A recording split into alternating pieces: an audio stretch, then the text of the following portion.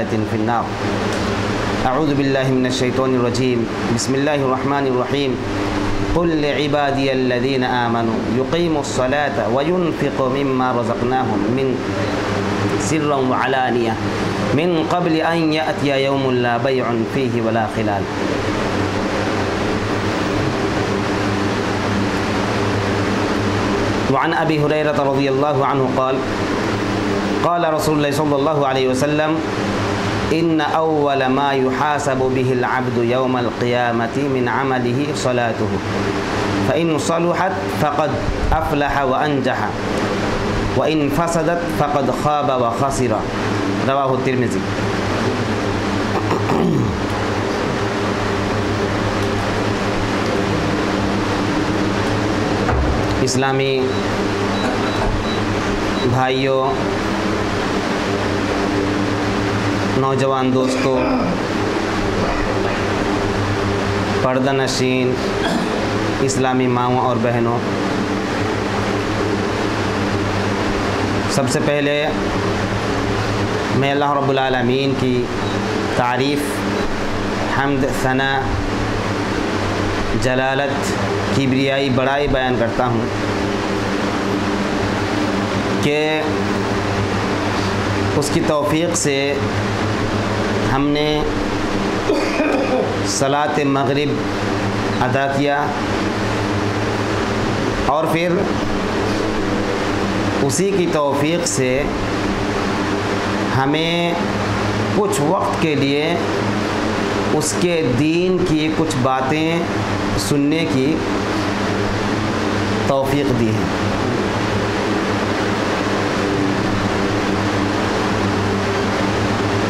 इससे पहले यहाँ कई मरतबा आ चुका हूँ।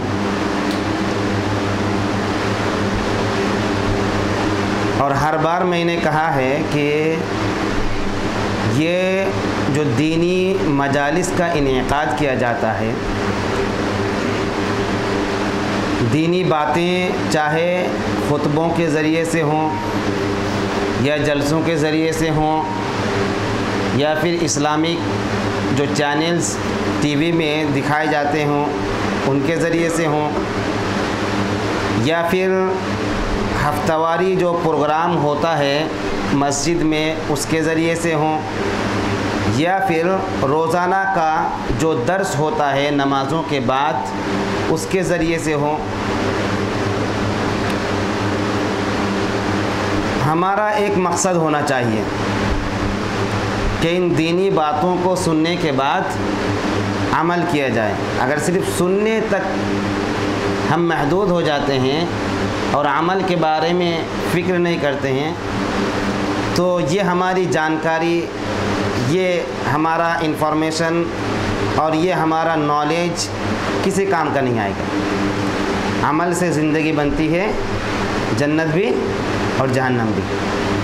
लिहाजा आपका अमल ये तय करेगा कि आपका नामा अमाल कितना दुरुस्त है। सिर्फ़ ज़बानी तौर पर आप दावा करें, आप रात दिन सिर्फ़ ये बोलते रहें कि हम मुसलमान हैं, अपनी मुसलमानियत पर फ़ख्र करें, लेकिन अमल कुछ ना हो तो क़यामत के दिन फिर हमें सुरख, रोई और कामयाबी नहीं मिल सकती। तो अमल होना चाहिए, है कि नहीं? साहबा कराम जब मजलिस में बैठते थे तो करीब होकर बैठते थे। बारहा, ये बात मैंने कही है। और अमल अल्लाह रब्बुल आलमीन के नज़दीक ये नहीं है कि एक मरतबा किया जाए, फिर उसको छोड़ दिया जाए। अमल कम हो, लेकिन उस पर मुदावमत हो, उस पर हमेशगी हो। वो अमल अल्लाह ताला के नज़दीक ज़्यादा महबूब होता है। अब जब सहाबाई कराम को अल्लाह के नबी सल्लल्लाहु अलैहि वसल्लम ने ट्रेनिंग दी सहाबाई कराम को बैठने का तरीक़ा बताया, हमारे इस्लाम के अंदर खूबी तो यही है कि चाहे मजलिस के अंदर हो, इनफरादी तौर पर हो इज्तमाही तौर पर हो, जहाँ कहीं भी हो, वहाँ बोलने का अंदाज़ भी, बैठने का अंदाज़ भी, क्या बोलना चाहिए, वो भी सिखाता है। वो भी सिखाता है। यहाँ तक कि पेशाब पाखाना के बारे में हमारा इस्लाम हमें सिखाता है। साहबा कराम पर इस्तेजा करते थे, मज़ाक उड़ाते थे, मुशरकिन, यहूदियों, कि ये देखो, ये कैसे लोग हैं, पेशाब पाखाना के बारे में इसके नबी बताते हैं। तो कहा कि हाँ हमारे नबी तो ये हैं कि हमें पेशाब और पखाना के आदाब तक बताते हैं। ये हमारे रसूल की शान है, ये हमारे दीन की शान है। तो हमें तो इस पर फ़ख्र होना चाहिए।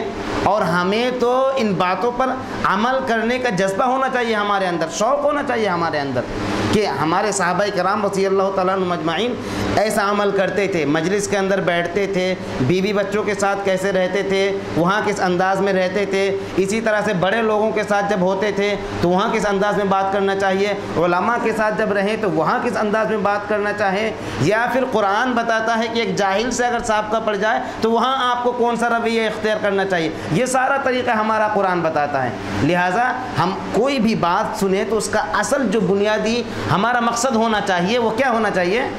अमल। ये मेन पॉइंट है। आपको ज़्यादा इल्म ना हो कोई चलेगा। आप जितना जि, अपनी दुनियावी ज़िंदगी में जितनी हद तक जानने की कोशिश करें वो चलेगा। लेकिन जानने के बाद फिर अमल ना करें तो फिर ये नहीं चल सकता है। इस्लाम सिर्फ़ जानने का नाम नहीं है। इस्लाम जान के मानने के बाद नाम नाम है। जानने के बाद मान लेना ये असल इस्लाम है। अपने आप को सरेंडर कर देना। अपने आप की ख्वाहिशात को अल्लाह रब्बुल आलमीन के सामने, अल्लाह ताला की चाहत, अल्लाह ताला की मन का मनसा के सामने बिल्कुल सरेंडर कर देना, झुका देना, ये असल इस्लाम है। तो अमल ये बहुत ज़रूरी है। तो मैंने बताया कि साहबा कराम मजलिस में बैठते थे तो मिल के बैठते थे। अमल होना चाहिए कि नहीं? कि नहीं होना चाहिए?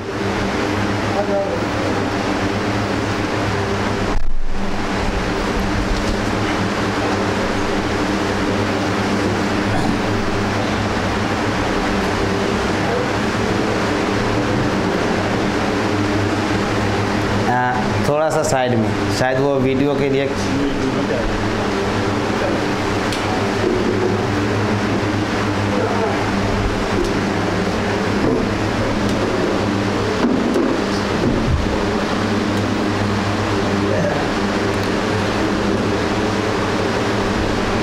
माशाल्लाह। आज का जो मौजू है वो नमाज़ के बाद आपको बताया गया है, उससे इतला किया गया है। नमाजियों की तलाश। मौजू है नमाजियों की तलाश। हम तो अल्लाह रब्बुल की तारीफ़ करते हैं, उसका शुक्रिया अदा करना चाहिए हमें कि अल्लाह ताला ने हम जैसे बंदों को नमाज़ पढ़ने की तौफीक दी है। और माशाल्लाह मेरे ख्याल से सब पंज वक्त नमाजी है कि नहीं? सब पंज वक्त नमाजी हैं? ये अल्लाह रब्बुल आलमीन का हम पर बहुत बड़ा फजल है, बहुत बड़ा एहसान है। अब हमें जो मौजू दिया गया है, नमाजियों की तलाश, इससे क्या अंदाज़ा होता है कि हम खुद नमाज़ पर पाबंदी करें और साथ ही साथ नमाजियों को तलाश करके ले आएँ? हमारी ज़िम्मेदारी सिर्फ़ नमाज़ पढ़ना नहीं है, बल्कि नमाज़ पढ़ने के साथ साथ क्या करें? हम नमाजियों को तलाश करके मस्जिद के अंदर ले आएँ, ये हमारा असल मकसद है। लेकिन ये हमें बात कब समझ में आएगी? जब हकीकी तौर पर हम नमाज़ की अहमियत को समझेंगे। नमाज़ की अहमियत को उसी अंदाज में समझेंगे, जिस अंदाज में साहबा कराम समझते थे। क्योंकि बस अवकात ऐसा होता है कि हम अगर किसी, अपने किसी काम में मशगूल हो जाते हैं, किसी काम में, अपने ज़ाती काम में तो ज़ाती काम को हम मुकदम करते हैं। और नमाज़ हमारी फौत हो जाती है। मसलन अगर हम सफ़र करते हैं, बहुत सारे लोग ऐसे हैं, सफ़र करते हैं तो सफ़र में नमाज़ ही नहीं पढ़ते हैं। यानी सोचते ये हैं कि सफ़र में नमाज़ माफ़ हो गई है। ये समझते हैं। यानी उज़्र पेश करने लगते हैं। नमाज़ पढ़ने की जगह नहीं होती है। या इसी तरह से ये उज़्र है, ये ये उज़्र है। यानी लोग उज़्र गिनाने लगते हैं। तो जब नमाज़ की अहमियत को पता चलेगा तो जब मुकीम होता है वो, और मुकीम की हालत में वो पंज वक्त नमाज़ की बाकायदा पाबंदी करता है, और जब उसे कोई ऐसा मौका आ जाता है कि वहाँ भी अगर वाकई मानों में नमाज़ की अहमियत को वो समझता है तो यकीनी तौर पर वो नमाज़ की पाबंदी करेगा, वहाँ भी नमाज़ की अदायगी करेगा। ये तब होगा जब हकीकी मानों में साहबा कराम रसी अल्लाह तजमाइन जिस तरह से नमाज़ की अहमियत को समझते थे, उसी तरह से नमाज़ की अहमियत को समझे और नमाज़ के जो फ़ज़ाइल हैं और इसी तरह से नबी करीम सल्लल्लाहु वसल्लम ने अपने कौली तौर पर और अमली तौर पर जिस अंदाज में हमें नमाज़ के बारे में समझाया है, उस तरह से हम समझें तो यकीनी तौर पर नमाज़ के अंदर हमारी मुदावमत होगी। नमाज़ के अंदर पाबंदी रहेगी इन हम जहाँ कहीं भी रहें, अल्लाह रब्बुल ने ईसा आसमाम को ईसा आसमाम को अल्लाह ताला ने पैदा किया। बचपन में बोलने की ताकत दे दी थी। बचपन में जब बच्चा नहीं बोलता है, गोद में होता है, माँ के गोद में, तब अल्लाह ताला ने ईसा आसमाम को बोलने की सलाहियत दी। बोलने की ताकत दी अल्लाह ताला की तरफ़ से मुआजा था। उस वक्त अगर ईसा आसमाम ने क्या कहा था वो इंपॉर्टेंट है। क्योंकि एक छोटा सा बच्चा क्या बोले? कि किस बात को उन्होंने ज़िक्र किया है? किस बात का उन्होंने ज़िक्र किया? एक छोटे से बच्चे के मुँह से अल्लाह ताला ने एक बात बुलवाया तो कौन सी बात थी वो? किस बात को अल्लाह रब्बुल आलमीन ने बुलवाया? ये ज़्यादा इंपॉर्टेंट ये ज़्यादा अहमियत है। तो कहा, कौल इन अब्दुल्ला आतानी किताब और नबी है मैं अल्लाह रब्बुल आलमीन का बंदा हूँ। अब्द का माना बंदा। मैं अल्लाह ताला का बंदा हूँ। मुझे किताब दी गई और मुझे नबी बनाया गया है। वज आलनी मुबारक आयनमा कुन तो और मुझे बाबरकत बनाया गया है जहाँ कहीं भी मैं रहूँ। वह अवसानी बिसलाती वज़क़ाती और मेरे रब ने मुझे सलाद का की वसीयत की है, सलाद का हुक्म दिया है, ज़क़़त का हुक्म दिया है। मादुम तो हैया। कब तक? कब तक? दो चार महीने के लिए, दो चार साल के लिए। मादुम तो हैया। जब तक सांस चलती रहे। जब तक सांस चलती रहे, उस वक्त तक मुझे मेरे रब ने नमाज़ की और इसी तरह से ज़क़़त की वसीयत की है। इन दोनों का हुक्म दिया है बाकायदा तौर पर।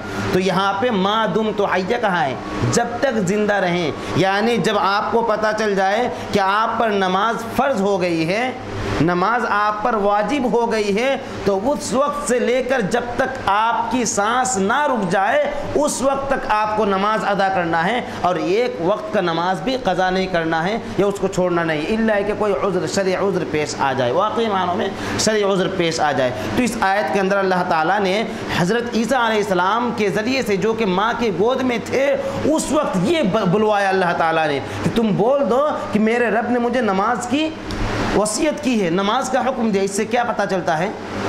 इससे नमाज़ की अहमियत का अंदाज़ा होता है ना कि छोटे सा बच्चा, अभी उस पर नमाज़ फ़र्ज़ नहीं हुआ है। अभी ईसा आसमाम माँ के गोद में है, नमाज़ अभी फ़र्ज़ हुई ही नहीं है। लेकिन इसके बावजूद भी अल्लाह ताला ने ये जुमला बुलवाया। ये लफ्ज़ बुलवाया कि बोल दो लोगों को कि मेरे रब ने मुझे नमाज़ की वसीयत की है, नमाज़ का हुक्म दिया है। एक तो नमाज़ की अहमियत का अंदाज़ा होता है। मादुम तो हैया से क्या पता चल रहा है कि जब तक मैं ज़िंदा रहूँ। यानी नमाज़ छोड़ना नहीं है। एक वक्त के लिए नमाज़ नहीं छोड़ना है, बल्कि जब तक ज़िंदा रहूँ, उस वक्त तक हमें नमाज़ पढ़ना है। ये एक मुसलमान का तरीक़ा होना चाहिए, एक मुसलमान का वतीरा होना चाहिए नमाज़ के ताल्लुक से। ईसा आसमाम ने आब्द का लफ्ज़ इस्तेमाल किया है, आब्द का लफ्ज़।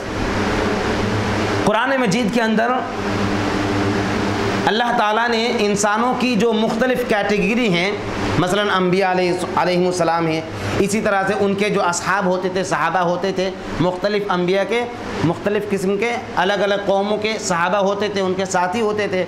हमारे नबी सल्लल्लाहु अलैहि वसल्लम के सहाबा थे, एक लाख से तजावज़ कर गए थे सहाबा। ये सहाबा थे, इसी तरह से अलियाल्ला हैं, और इसी तरह से आम मोमिन हैं, और फासिक और फुजार कुफ़ार ये लोग भी हैं इसी तरह से।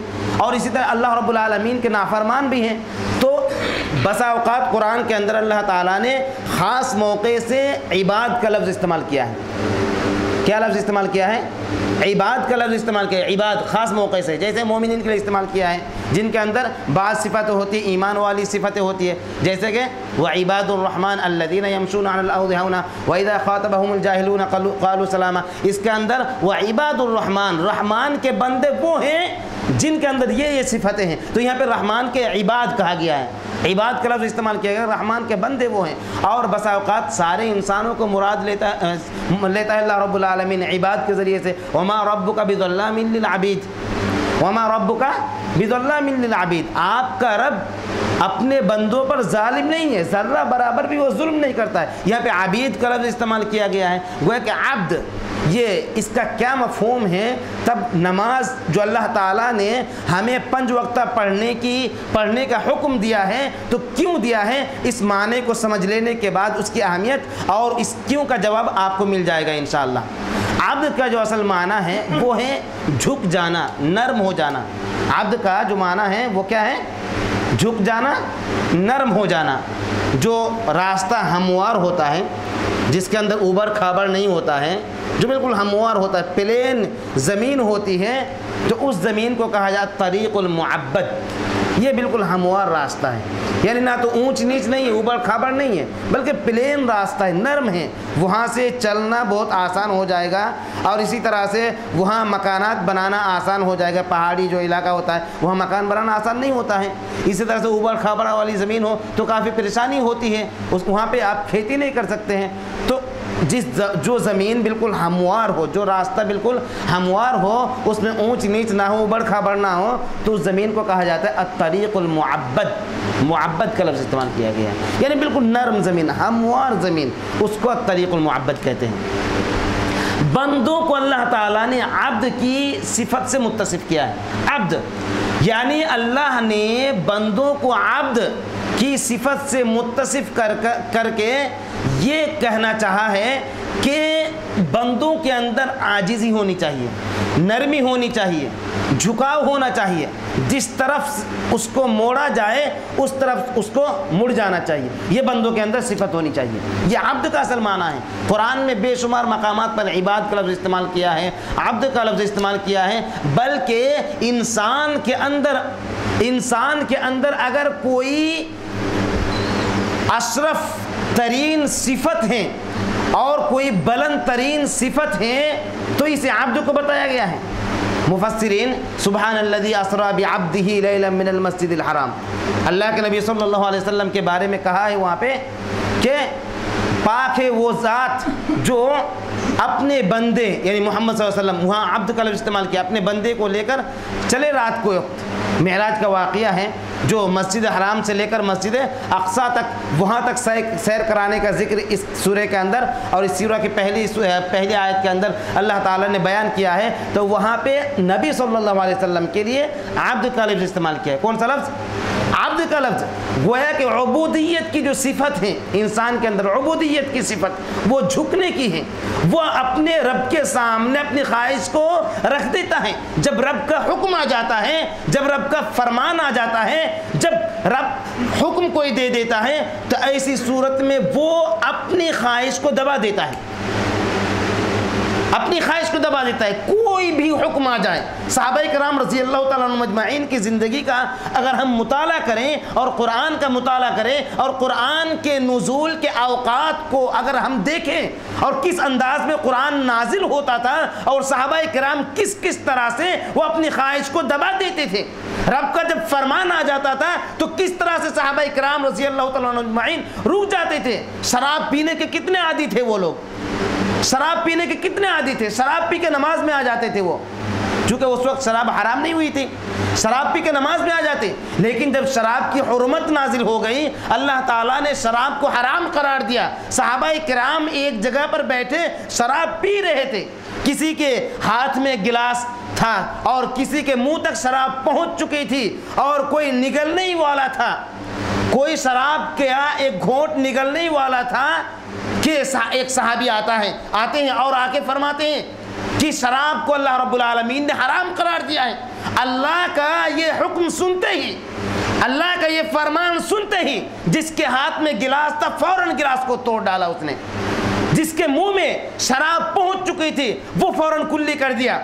और जिसके हालत तक पहुँचने वाली थी वो शराब, वो भी कुल्ली कर दिया। ये साहबा कराम के अंदर सिफत कहाँ से पैदा हुई? आब्द का मफहूम उन्होंने सही तौर पर समझा था। एक मुस्लिम जो इस्लाम के अंदर अपने आप को झुका देना अल्लाह के सामने। अपने आप को अल्लाह ताला के सामने जलील समझना, अपने आप को कमतर समझना और अपने आप को इस अंदाज में समझना कि मेरा रब जो भी हुक्म करेगा, मेरा रब मुझे जिस तरफ़ भी मोड़ेगा, उस तरफ़ हम मुड़ जाएँगे, उस तरफ़ हम झुक जाएँगे। ये सिफत साहबा कराम के अंदर पैदा हुई थी। नबी सल्लल्लाहु अलैहि वसल्लम ने समझाया था, उसके बाद फिर साहबा कराम को जब भी हुक्म दिया जाता था, किसी भी चीज़ का हुक्म दिया जाता था यहाँ तक कि वो शराब के आदि थे। इसके बावजूद भी उन्होंने शराब को छोड़ दिया। ये कौन सी सिफत थी? ये किस चीज़ को उन्होंने समझ लिया था? कौन सा ऐसा जज्बा उनके अंदर पैदा हो गया था? कौन सा शौक उनके अंदर आ गया था कि जिसकी वजह से वो अल्लाह ताला का हुक्म आते ही अपनी ख्वाहिश को दबा देते थे? अपनी नफसानी ख्वाहिश को दबा देते थे और अल्लाह ताला के हुक्म पर अमल पैरा हो जाते थे। ये साहबा कराम के अंदर ये सिफत मौजूद थी। ये आब्द का मफहूम समझते थे वो। कि आब्द का मतलब है? मुस्लिम का मतलब है कि अपने आप को झुका देना, अपने आप को सरेंडर कर देना। इसका मफहूम वो समझते थे। तो गोया कि अल्लाह ताला हमेशा ये चाहता है कि बंदा उसके सामने झुका रहे। अल्लाह ताला चाहता है कि हमेशा बंदा उसके सामने झुका रहे, ये अल्लाह रब्बुल आलमीन की मंशा है। ये अल्लाह रब्बुल आलमीन का अपनी शरीयत के अंदर, कुरान और हदीस के अंदर ये हुक्म है कि बंदा हमेशा उसके सामने झुका रहे, हमेशा। अब अगर हम गौर करें, अल्लाह ताला की दीगर इबादत के बारे में, नमाज़ को छोड़ के और भी इबादतें हैं बहुत सारे, रमज़ान के बारे में तो रमज़ान तो सिर्फ़ महीने, साल में एक बार रमज़ान का महीना आता है। यानी रोज़े का अगर देखा जाए तो साल में सिर्फ़ एक ही बार तो रमज़ान का महीना आता है, जिसमें रोज़ा रखा जाता है। हज का अगर देखा जाए तो वो भी साल में एक बार अदा किया जाता है। कुछ अयाम मखसूस अयाम हैं, मखसूस महीने हैं, उनके अंदर अदा किया जाता है हज। और भी दीगर इबादतें हैं, वो अलग अलग मखसूस हैं। जो ख़ास करके उम्महातुल इबादत हैं। यानी जो इबादतें बिल्कुल वाज हैं, जैसे नमाज़ हैं, रोज़े हैं, हज हैं, ज़क़़त हैं, ये सब का एक वक्त मुकर है। लेकिन नमाज़ को अल्लाह ताला ने दिन के अंदर पाँच मरतबा फ़र्ज़ किया अगर हम अब्दियत के मफहूम को समझे अबूदियत के अंदर जो सिफत पाई जाती है कि अल्लाह ताला चाहता है कि बंदे उसके सामने झुके रहें। उसकी ख्वाहिश और उसकी चाहत जब आ जाए, उसका फरमान और उसका हुक्म जब आ जाए तो अपने आप को सरेंडर कर दे। अपनी ख्वाहिश को दबा दे। ये हमेशा, ऐसे नहीं कि एक दो मिनट के लिए, हमेशा। और इसकी ट्रेनिंग अगर सही तौर पर किसी इबादत के ज़रिए से हो सकती है तो कौन सी इबादत है? कौन सी इबादत है? नमाज़ है। अगर ये अबूदियत की सिफत किसी के अंदर वाकई मानों में आ जाए और वो अल्लाह ताला के सामने अपने आप को झुकाए रखे, अल्लाह के सामने अपनी ख्वाहिश को दबा दे तो एक इबादत है इसलिए। वो कौन सी इबादत है? नमाज़। पंच वक्त नमाज़ को आप देख रहे इस अंदाज में अल्लाह ताला ने उसकी टाइमिंग रखा है कि बंदा नमाज़ से फारिग होता है, फिर दूसरी नमाज़ के लिए वो फिक्रमंद होता है, जो वाकई मानों में नमाजी हो जो वाकई मानों में नमाजी हो दूसरे नमाज़ के लिए फिक्रमंद रहता है। यानी गोया के अल्लाह ताला के सामने उसके अंदर हमेशा से हर वक्त झुकने की सिफत पैदा होती पैदा होती रहती है। झुकने का शौक पैदा होता रहता है, जज्बा पैदा होता रहता है। ये नमाज़ ही है जिसके ज़रिए से बंदे को जो उसका हकीकी, उसकी हकीकी सिफत उसके अंदर मौजूद है, उसका मफहम ये नमाज़ हमें सिखाती है। इसी तरह से अगर हम नमाज़ की, को देखें तो नमाज़ के अंदर जो दुआ बताए गए हैं। और इसी तरह से नमाज़ के अंदर खड़े होने के या रुकू में जाने के, सजदे में जाने के, ये जो अलग अलग कैफियत बयान किए गए हैं, ये सब के सब अल्लाह रब्बुल आलमीन के सामने अपने आप को बात ना करें तो ज़्यादा बेहतर है। अपने आप को झुका देने की सिफत पैदा होती है। आप खड़े होते हैं, फिर भी कुरान ने कहा है कि खुशू और खुशू के साथ खड़ा होना है। रुकू में जाते हैं, वो भी, उसमें भी इतमान ज़रूरी है, नबी वसल्लम ने फरमाया है। सजदे में जाते हैं, उसमें भी इतमान ज़रूरी है। यानी अल्लाह रब्बुल की बारगाह में बिल्कुल आप अपने आप को कमतर समझ के, अपने आप को अल्लाह ताला के सामने झुका के, अपनी ख्वाहिशात को तर्क करके, दबा करके अल्लाह ताला के सामने आप अपने आप को झुका देते हैं, ये नमाज़ हमें सिखाती है। ये नमाज़, ये सिफत हमारे अंदर नमाज़ पैदा करती हैं। इसीलिए जब बंदा सजदे के अंदर होता है, सजदे के अंदर, अल्लाह रब अल्लाह के नबी वसल्लम ने फरमाया कि वो अल्लाह रब्लमीन से सबसे ज़्यादा करीब होता है। नमाज़ के जो मुख्तलिफ़ हालात हैं तो सजदे की हालत वो हालत होती है कि जिसके अंदर बंदा अपने रब से सबसे ज़्यादा करीब होता है। ये सजदे की हालत को बताया गया है। तो गोया के झुकने की सिफत जो मुकम्मल तौर से बंदा अपने आप को झुका देता है, अपने आप को कमतर समझकर, वो कौन सी हालत है नमाज़ के अंदर? सजदे की हालत है। और वो हालत अल्लाह रब्बुल आलमीन को इंतहाई पसंद है। इंतहाई पसंद है। इतना पसंद है कि बंदे को अपना करीब कर लेता है। उस हालत को पसंद है। क्यों? क्योंकि उसने सबसे ज़्यादा उस हालत के अंदर झुका दिया है। सबसे ज़्यादा खुशू और खुजू का इजहार किया है। ये तो ज़ाहरी तौर पर हैं कि हम सजदा कर रहे हैं, लेकिन ज़ाहिर के साथ साथ बातिनी तौर पर, यानी दिल का अल्लाह रबालमीन की तरफ़ लगा रहना, ये भी ज़रूरी है। अगर दिल साथ ना हो तो ऐसी सूरत में इबन कईम रहमल्ला कहते हैं कि बसाओकात इंसान की नमाज़ ही नहीं होती है उसको नमाज़ दोहराना पड़ेगा। और नबी वसल्लम से जब पूछा गया, एहसान का मतलब क्या है? जबरी सलाम आके मुख्तलिफ़ सवाल किए थे, चार सवाल किए थे। उसमें से एक एहसान का भी सवाल किया अल्लाह के नबी वसल्लम से, कि अल्लाह के रसूल सल्लल्लाहु अलैहि वसल्लम मन एहसान एहसान क्या चीज़ है? तो अल्लाह के नबी सल्लल्लाहु अलैहि वसल्लम ने एहसान का मतलब बताया, अन ताबुदल्लाह का अन्न का तरा फ़िल्म तकुन तरा फ़िन यारा कि तुम अल्लाह की इबादत इस तरह से करो, गोया कि तुम अल्लाह को देख रहे हो। अगर तुम इतना नहीं कर सकते तो कम अज़ कम इतना सोचो कि अल्लाह तुम्हें देख रहा है। यह एहसान बताया नमाज़ के अंदर? एहसान का मफहम। यानी इसमें ज़ाहिर और बातिन दोनों चीज़ें आ जाती हैं। ज़ाहिर और बातिन। यानी ज़ाहिरी तौर पर हमारी इबादत, हमारी नमाज़ जो नबी सल्लल्लाहु अलैहि वसल्लम की सुन्नत के मुताबिक होनी चाहिए, ज़ाहिरी तौर पर। वो भी एहसान के अंदर हैं। और इसी तरह से बातिनी तौर पर, यानी हमारे दिल की कैफियत क्या होनी चाहिए? दिल में किस तरह से खुशू और खुशू होना चाहिए? किस तरह से अल्लाह ताला की तरफ़ झुकाव होना चाहिए? किस तरह से दिल में नरमी होनी चाहिए? किस तरह से इनकिसारी होनी चाहिए? ये भी एहसान के अंदर है। हम इस अंदाज में नमाज़ पढ़ें कि गोया के अल्लाह को देख रहे हैं। यानी फितरी तौर पर, फितरी तौर पर ऐसा हम समझे कि कोई गाइड नहीं कर रहा है, लेकिन हम अपना उसको फ़र्ज़ समझ के, अपनी ज़िम्मेदारी समझ के इस खूबी के साथ उसको अंजाम दे और इस बेहतरीन अंदाज में उसको अंजाम दे कि वो एहसान के मकाम तक पहुँच जाए। ये नमाज़ होती है। ये तो पहली हालत होती है कि इंसान खुद ये समझे कि अल्लाह ताला के को देख रहा है। यानी खुद वो समझ रहा है कि ये मेरा फ़र्ज़ है। ज़ाहिर और बातिन दोनों अल्लाह रब्बुल की तरफ़ करना, ये मेरा फ़र्ज़ है। यानी वो फितरी तौर पर अल्लाह रब्बुल की तरफ़ अपने दिल को, अपने जिसम को, पूरे अज़ा को झुका देता है। और इसी तरह से यह भी ख्याल ना आए तो कम से कम इतना सोचना चाहिए कि नमाज़ में अगर कुछ मैंने गलती की, दिल अगर इधर उधर गया, नमाज़ में दिल, हमारा दिल अगर यहाँ वहाँ गया या फिर हमने नमाज़ में कुछ कोताही की, चोरी करने की कोशिश की? चोर कहा गया है ना नमाज़ में? जो नमाज़ में रुकू, सजदे सजदे नहीं करते तो चोर कहा गया है। नमाज़ में चोरी करने की कोशिश की तो अल्लाह रब्बुल आलमीन बैठ के देख रहा है। वो हमें गिरफ्त कर सकता है, वो हमारी गिरफ्त कर सकता है, वो हमसे पूछ गुछ कर सकता है।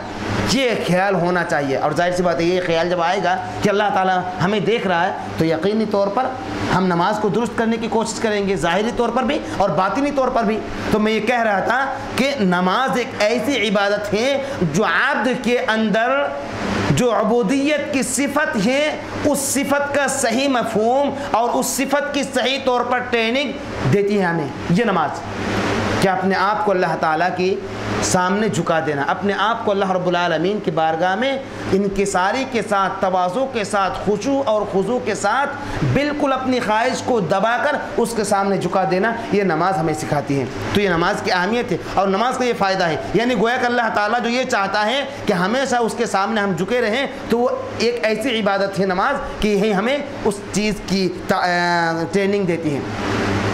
मैंने जिस आयत की तिलावत की है, उसके अंदर भी अल्लाह ताला ने इबाद का लफ्ज़ इस्तेमाल किया है और वहाँ भी नमाज़ का हुक्म दिया अल्लाह ताला ने। कुल ले इबादी अल्लादीन आमनो। ए नबी सल्लल्लाहु अलैहि वसल्लम, मेरे उन बंदों से आप कह दें जिन्होंने ईमान लाए यहाँ पे ख़ास बंदे। ईमान लाने लाने वाले ख़ास बंदे, क्योंकि कुछ बंदे ऐसे हैं, इबाद ऐसे हैं, जो ईमान नहीं लाते हैं। यहाँ पे ख़ास बंदों से अल्लाह रब्बुल आलमीन बात कर रहा है। ख़ास ख़ास बंदों के ताल्लुक से अल्लाह ताला अपने नबी, प्यारे नबी सल्लल्लाहु अलैहि वसल्लम को हुक्म दे रहा है कि आप उनसे कह दीजिए युकीमुसला कि वो नमाज़ कायम करे। तो यहाँ भी इबाद का लफ्ज़ अल्लाह रब्बुल ने इस्तेमाल किया है और उसके बाद फिर नमाज़ का हुक्म दिया है। गोया कि ख़ास मोमिन जिसके अंदर अबूदियत की सिफत पाई जाती हो और जिसके अंदर ईमान का, ईमान की दौलत पाई जाती हो, उसकी सिफत होनी चाहिए कि वो नमाज़ की इकामत करता है। वो नमाज़ को कायम करता है।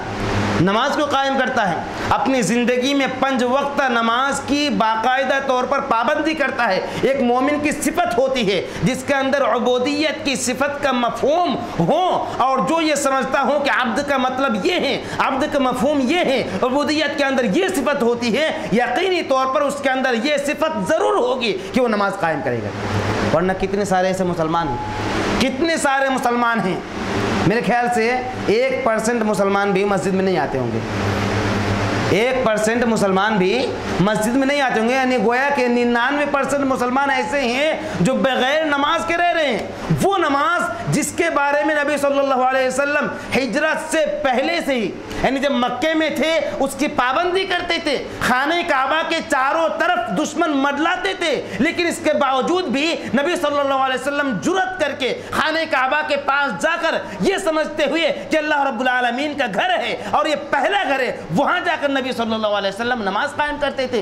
जब साहबा कराम की तरफ़ साहबा कराम पर जुल्म होने लगा, कुफ़ार मुशरकिन सताने लगे तो ज़ाहिरी तौर पर वो नमाज़ नहीं पढ़ते थे, वो चुप के चुप के नमाज़ पढ़ते थे। अबू बकर रज़ी अल्लाह को हुक्म दिए दे दिया उन लोगों ने कि तो अंदर ये घर के अंदर ये नमाज़ पढ़े, क्योंकि नमाज़ के अंदर जब ये कुरान की तिलावत करते हैं नमाज़ के अंदर कुरान की तिलावत करते हैं, इतनी हलावत होती, इतनी चाशनी होती, इतनी मिठास होती है कि हमारी औरतें आती हैं सुनने के लिए, बच्चे आ जाते हैं और इनके कुरान की आयत सुनकर ये भी मुसलमान की तरफ़, इस्लाम की तरफ़ रागिब हो जाते हैं, ये भी इस्लाम की तरफ़ मायल हो जाते हैं। तो साहबा कराम को, जब साहबा कराम पर जुल्म हुआ, साहबा कराम को सताया गया तो चुपके चुपके नमाज़ पढ़ते थे। वो नमाज़, जिस नमाज़ को नबी सल्लल्लाहु अलैहि वसल्लम ने बारह ताकीद करते थे, बारह हुक्म देते थे, अल्लाह रब्बुल ने अस्सी से जायद मरतबा, अस्सी से जायद मरतबा, नमाज़ के बारे में हुक्म दिया। यानी कोई ऐसी इबादत नहीं है नमाज़ के अलावा, जिसके बारे में इतना अल्लाह रब्बुल आलमीन ने हुक्म दिया हो।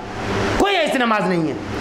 नमाज़ कोई ऐसी इबादत नहीं है, सिर्फ़ नमाज़ ही एक ऐसी इबादत है, जिसके बारे में अल्लाह ताला ने अस्सी से जायद मरतबा कुरान कुरान मुक़दस के अंदर ज़िक्र किया है। और नमाज़ के बारे में वो नमाजी जो नमाज़ में आते हैं, मस्जिद में आते हैं, लेकिन बसा अवकात कभी कभार गफलत के शिकार हो जाते हैं और मस्जिद से दूर हो जाते हैं, वो जमात से दूर हो जाते हैं, बाद में नमाज़ पढ़ते हैं। ऐसे लोगों के बारे में कैसी नाराज़गी अल्लाह के नबी वसल्लम ने ज़ाहिर की थी? कैसे नाराज़गी ज़ाहिर की थी कि मेरा दिल करता है कि जो लोग मस्जिद में जमात के साथ नमाज़ पढ़ने नहीं आते। वो लोग नहीं जो नमाज़ छोड़ते, नहीं। उनकी बात ही तो मत कीजिए। जो लोग नमाज़ पढ़ने के लिए आते हैं, लेकिन कभी कभार गफलत के शिकार हो जाते हैं वो। वो नमाज़ में गफलत बरतते हैं। कभी आते हैं, कभी नहीं आते हैं। या फिर आते हैं तो बाद में आते हैं। जमात जब खत्म होती है, तब वो आते हैं। ऐसे लोगों पर नबी सल्लल्लाहु अलैहि वसल्लम ने नाराज़गी ज़ाहिर की थी कि मेरा दिल करता है कि मैं जमात को खड़ा खड़ी करके किसी को नमाज़ पढ़ाने के लिए कह दूँ कि नमाज़ पढ़ाओ, और जो लोग नमाज़ पढ़ने के लिए नहीं आते हैं, जमात में शामिल नहीं होते हैं, मैं उनके पास जाऊँ, उनके घरों में जाऊँ, और उनके घरों को आग लगा दूँ। किस तरह से नबी वसल्लम ने नाराज़गी ज़ाहिर की है? नमाज़ छोड़ने के लिए नहीं, बल्कि नमाज़ में गफलत बरतने के लिए। नमाज़ वो लोग पढ़ते हैं लेकिन जमात में शामिल नहीं होती है। नमाज़ बाद में पढ़ते हैं, कज़ा करके पढ़ते हैं, या बाद में अदा करते हैं। ऐसे लोगों पर नबी सल्लल्लाहु अलैहि वसल्लम ने नाराज़गी ज़ाहिर की है। और वो नमाज़ कि जिसके बारे में नबी सल्लल्लाहु अलैहि वसल्लम अपनी आखिरी सांस जब चल रही थी, आप सल्लल्लाहु अलैहि वसल्लम की वफात के वक्त कि बस कुछ ही सात के बाद, कुछ ही घड़ी के बाद आप सल्लल्लाहु अलैहि वसल्लम की रूह निकल जाएगी। ऐसे मौके से नबी सल्लल्लाहु अलैहि वसल्लम अपनी उम्मत को ये समझते हुए कि मेरी उम्मत को ये वसीयत करूँगा आखिरी उम्र में, क्योंकि लोग जब आखिरी उम्र में वसीयत करते हैं, जब कोई बाप या कोई दादा या कोई रिश्तेदार अपनी आखिरी उम्र में वसीयत करते हैं, फला को ये दे देना, या ये ऐसा करना, तुम लोग ऐसे रहना तो लोग उसको याद रखते हैं। अरे, मेरे अब्बू ने ऐसा कह के गए थे, लिहाजा ये इसको दे दिया जाए, ये माल इसको दे दिया जाए, ये वसीयत को माना जाता है। या आखिरी उम्र में वसीयत को लोग उसका लिहाज रखते हैं। ये सोचते हुए नबी सल्लल्लाहु अलैहि वसल्लम ने अपनी आखिरी उम्र में कि मेरी उम्मत को ये हुक्म दे दूँ, ये वसीयत कर दूँ। सलाह सलाह, तुम लोग नमाज़ की पाबंदी करना, तुम लोग नमाज़ को, नमाज़ की पाबंदी करते रहना, नमाज़ की मुदावमत बरतते रहना, ये नबी सल्लल्लाहु अलैहि वसल्लम ने हुक्म दिया था। अपनी आखिरी उम्र में ये सोचते हुए कि लोग मेरे इस हुक्म का ख्याल रखेंगे। लोग मेरे आखिरी उम्र में, मेरी आखिरी उम्र में इस कौल के अहमियत को समझेंगे कि नमाज़ की क्या अहमियत है इस इस्लाम के अंदर। लेकिन उम्मत का क्या हाल है? उम्मत का क्या हाल है? मैंने कहा कि एक परसेंट लोग सिर्फ़ नमाज़ के लिए आते हैं। बाकी निन्यानवे परसेंट नमाज़ छोड़ छोड़ के जहन्नम की तरफ़ जा रहे हैं। जहन्नम की तरफ़ जा रहे हैं। और हम तो रब्बुल आलमीन के फजल करम से हम पाँच वक्त नमाजी हैं। हम पाँच वक्त नमाज़ पढ़ने के अल्लाह रब्बुल आलमीन ने हमें तौफीक दी है। लेकिन ये बात सुन लीजिए कि कोई गारंटी नहीं कि आप इस नमाज़ के ज़रिए से जन्नत में जा सकते हैं। कोई गारंटी नहीं है। आप खुद नमाज़ पढ़ें आपके घर में आपके बेटे बेनमाजी हो आपकी बहू बेटी बे, बेनमाजी हो आपकी बीवी बेनमाजी हो, आपके पड़ोस के लोग बेनमाजी हो, यानी आप तो अल्लाह ताला ये समझते हैं कि अल्लाह ताला ने मुझे तौफीक दी है। बस हम जाते हैं मस्जिद में, नमाज़ अदा कर लेते हैं। हमारी ज़िम्मेदारी ख़त्म हो गई।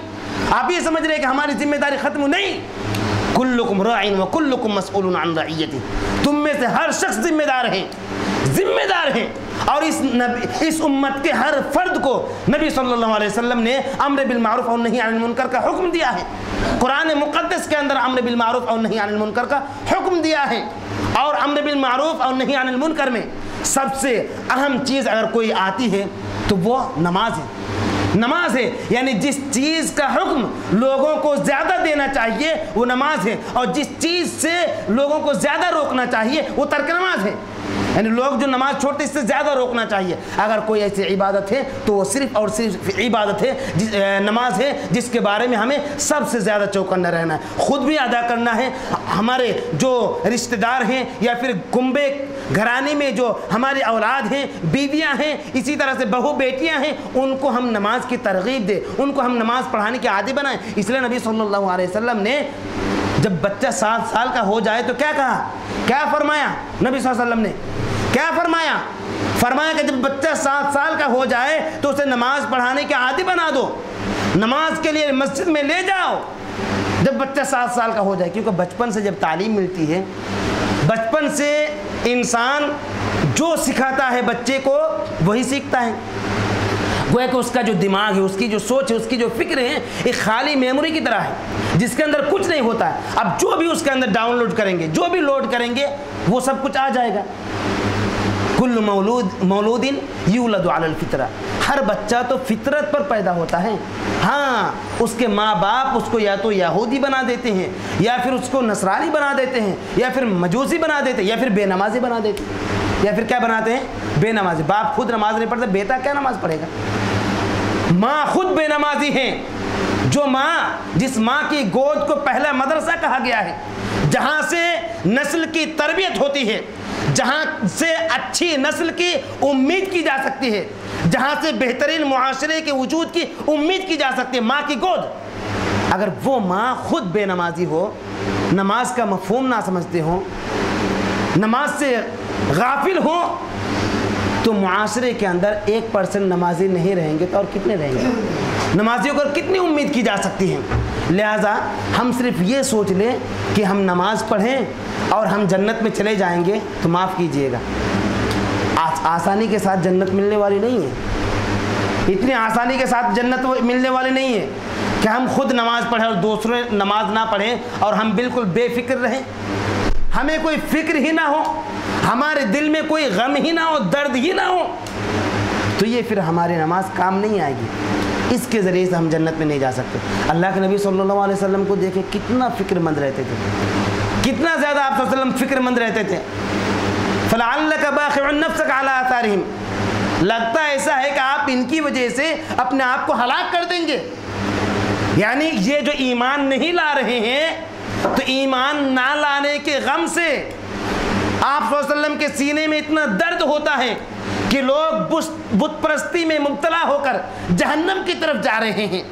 लोग इस्लाम को ठुकरा कर और सिर्फ़ में मुबतला होकर जहन्नम की आग को खरीद रहे हैं। इन लोगों का क्या होगा? मेरी उम्मत का क्या होगा? ये नबी सल्लल्लाहु अलैहि वसल्लम की कैफियत होती थी, जिसको कुरान ने बयान किया है। और हम तो नबी की उम्मत हैं। हम तो नबी की उम्मत हैं। बारह नबी ने हमें अमर बिल मारूफ और नहीं आन मुनकर की अहमियत को समझाया है। मारूफ का हुक्म देने के लिए कहा है, मुनकर काम से रोकने के लिए कहा है। लेकिन हम सिर्फ़ समझते हैं कि खुद अमल कर ले, दूसरे जाए भाड़ में। दूसरे जाए, भाड़ में जाए, बस हम नमाज़ पढ़ते, ये काफ़ी है। माफ़ कीजिए, ये काफ़ी नहीं है। आपकी औलाद, आपके घर वाले आपके घर के अफराद, आपके आस पड़ोस के लोग नमाज़ पढ़ते हैं कि नहीं पढ़ते हैं, ये हमें फ़िक्रमंद होना चाहिए। और ये बात सिर्फ़ सुनने तक महदूद मत रखिए। बर मेहरबानी, ये हर हफ़्ता आप सुनते हैं, हर हफ़्ता आते हैं, ये सुनने तक महदूद मत रहिए।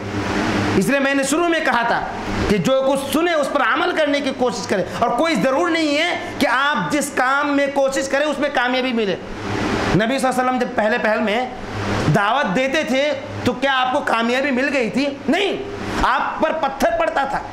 आप वसल्लम को सताया जाता था। आपको गालियाँ दी जाती थी।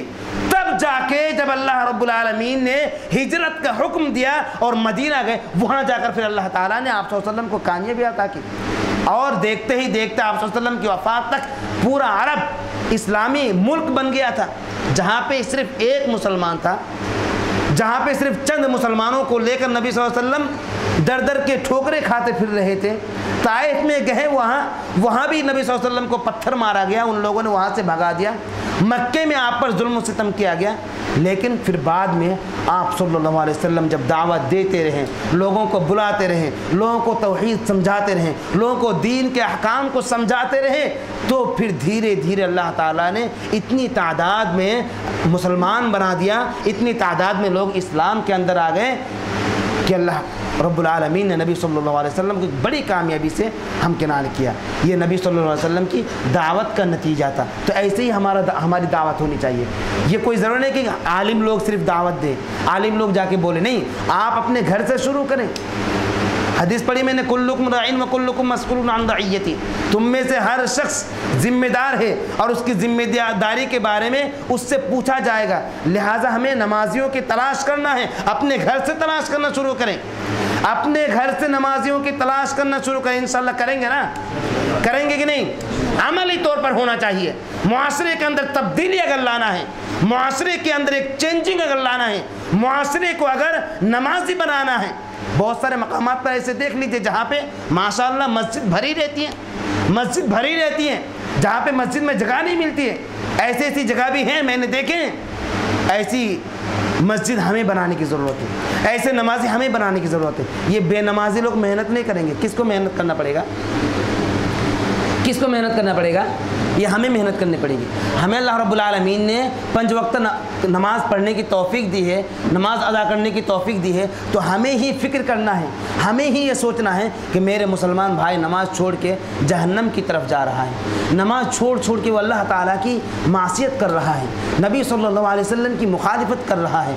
मेरा ही तो मुसलमान भाई है, ये दर्द आप अपने सीने में पैदा करें। जिस तरह से नबी वसल्लम दर्द रखते थे, वो दर्द वाकई मानों में अगर आपके दिल में पैदा हो जाए तो एक आपके अंदर तड़प पैदा होगा। फिर आप यकीनी तौर पर वही सूरत इख्तियार करेंगे जो शक्ल और सूरत नबी सल्लल्लाहु अलैहि वसल्लम इख्तियार करते थे दावती मैदान में।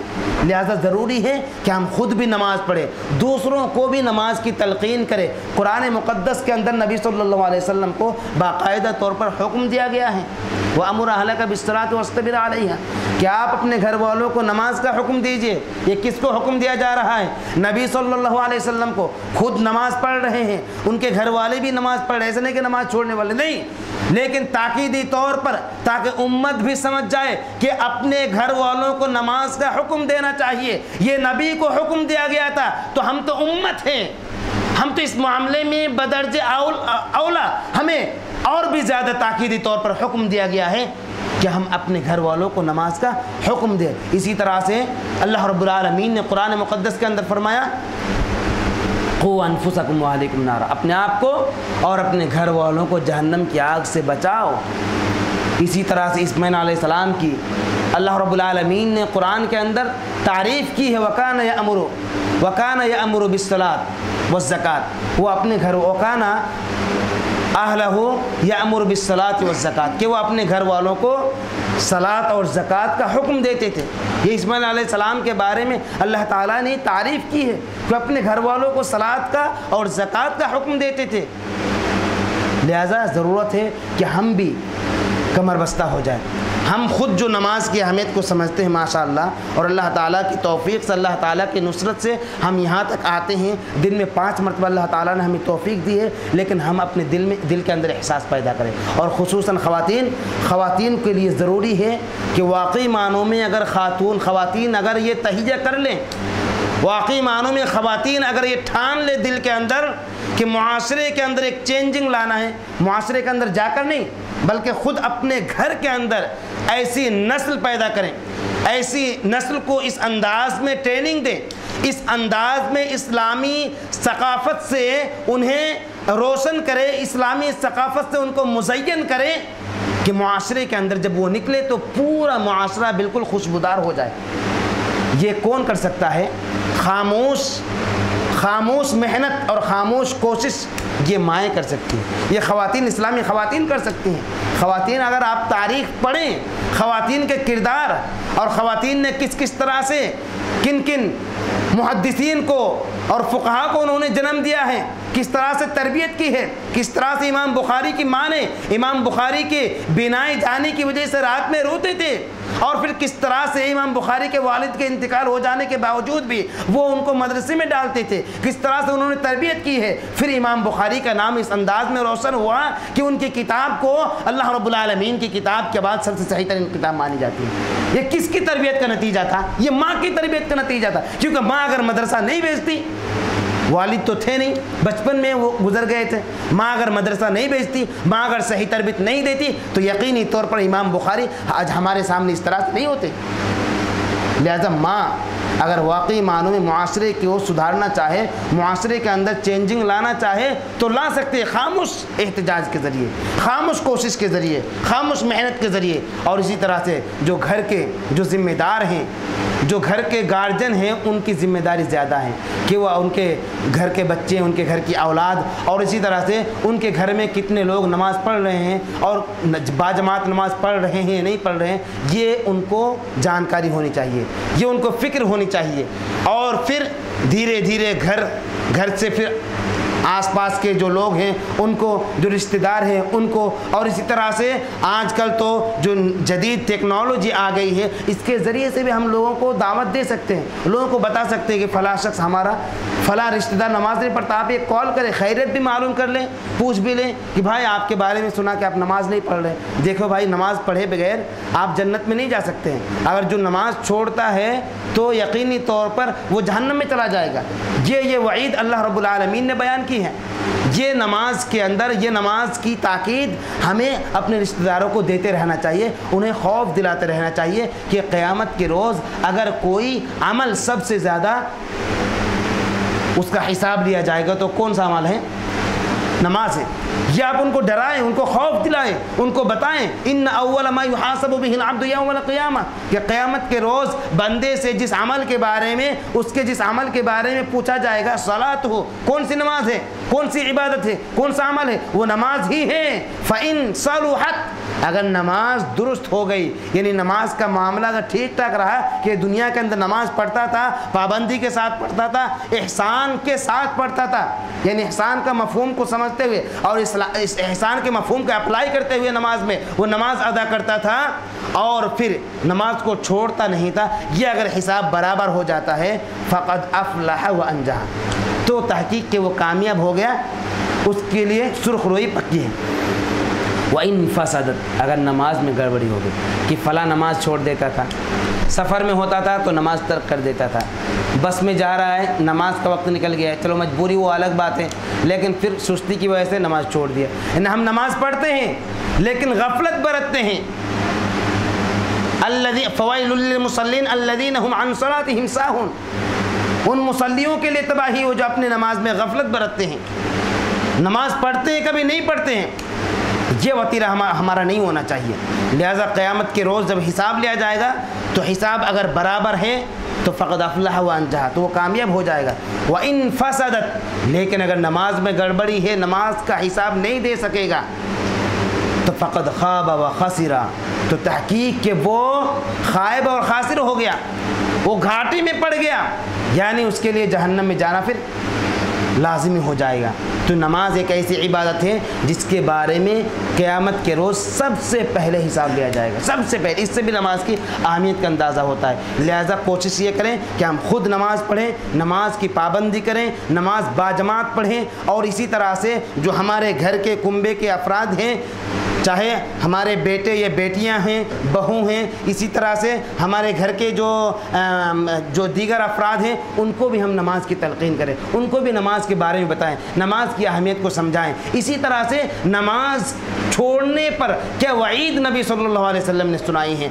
साहबा कराम रज़ी अल्लाह के क्या अकवाल हैं? उन, उन्होंने किस अंदाज में नमाज़ की अहमियत को समझाए हैं? और किस अंदाज में नमाज़ छोड़ने वाले को तंबी की है? उनको हम समझाएँ, उनको हम बताएँ। तो यकीनी तौर पर नमाजियों के अंदर इजाफा हो जाएगा। ये जो नमाजियों की तलाश है, आप अगर अपने घर से शुरू करें तो एक दिन जिस तरह से नबी सल्लल्लाहु अलैहि वसल्लम को कामयाबी मिली थी कि पूरा अरब नबी सल्लल्लाहु अलैहि वसल्लम के ताबे हो गए थे। नबी सल्लल्लाहु अलैहि वसल्लम के फर्मा बरदार हो गए थे तो इसी तरह से हम भी अपने मिशन में कामयाब हो जाएँगे। हम भी इस मिशन में कि नमाजियों की तलाश होनी चाहिए। एक दिन ये तलाश पूरी हो सकती है। अल्लाह रब्बुल ने अगर चाहा तो। लिहाजा हमें इस तरफ़ ध्यान देना है, तवज्जो देना है। अल्लाह ताला से दुआ है कि अल्लाह ताला हमें नमाज़ की अहमियत को समझने की तोफ़ी अता फ़रमाएँ। हमें नमाज़ बाजमात पाबंदी करने के तोफ़ी अता फ़रमाएँ। इसी तरह से अल्लाह रब्बुल हमें नमाज़ खुद अदा करने और दूसरों को नमाज़ की तलकिन यकीन करने की तोफ़ी अता फ़रमाए। नबी सल्लल्लाहु वसल्लम की सुन्नत के मुताबिक हमें नमाज़ पढ़ने की तोफ़ी अता फ़रमाए। साहबा कराम जिस तरह से नमाज़ की अहमियत को समझते थे नमाज़ को अदा करते थे उस तरह से हमें भी नबी सल्लल्लाहु वसल्लम की सुन्नत के मुताबिक नमाज़ की अहमियत को समझने और उस, उसको अदा करने की तोफ़ी अता फ़रमाएँ। आमीन वाखुर